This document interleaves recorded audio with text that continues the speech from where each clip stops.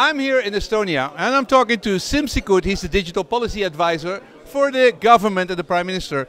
Uh, Simm, we from Holland want to know how did you pull it off? How did you get a system of identification, identification, which all the citizens and the government and all the users are, are using? How did you pull it off? Well, first of all, we made it mandatory, so that's what governments can do in a way.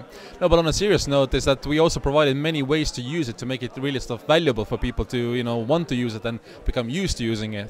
And uh, third of it is uh, a lot of it comes down to yeah, putting in place the right platforms. But I mean, hey, the most popular thing, you have an identification card here in Estonia, right? We have the same card in Holland. The only thing is here, there's a chip. There's a chip in it. And there's a chip in it, and you can use that just like a bank card. This was used mostly to clean the windows of the cars in, when you basically in 2002. And then you start, people started to use it. Yep. I mean, it was not technology; it was starting to use it. How did that happen? No, that's what I was saying. So I mean, the more there was services where it was you know usable, the more people actually had no reasons to take it out of the pocket and really stuff. You know, not just scrape the windows, but really you know insert it into the computer and thus have the efficiency of having a digital service. Yeah. Right. I can prove who I am. I can sign, and I can basically uh, use it in bank cards and uh, my healthcare system. Educate. What What do you use? What do you use this card for? For digital services?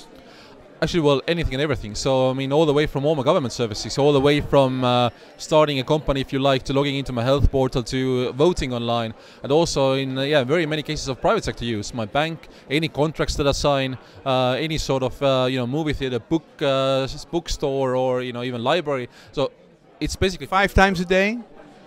I would say a few times a day. These days, I use my mobile even more. So, but So oh, this whole card has disappeared into the mobile now, so you don't use the card anymore. Exactly, exactly, a few times a day. Does the private sector have to pay to, for the identification service to the government?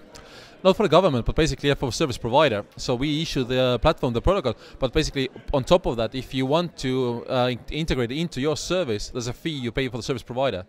But And is that 10 cents per time, or 15 cents, or one cent? less than that, less than that, couple of cents to identify, secure, and to sign. Even less than that. Basically, it's a volume business. The more you use it, the cheaper it is. Your advisor to the government. What's the big next step? Well, that's the big next step is really to automate the services away. We can make them invisibly happen in the background, based on the ID, based on automation, based on a smaller bit of analytics. And then to go to Finland and to basically get all of Europe Oh, in the same platform. Absolutely, and well, this is what we would like to see the whole of Europe work by, because and that's that's when we can make it easy for Europe to work together as a single market. So this was from Estonia. We're going to use this digital system all over Europe. It's already law.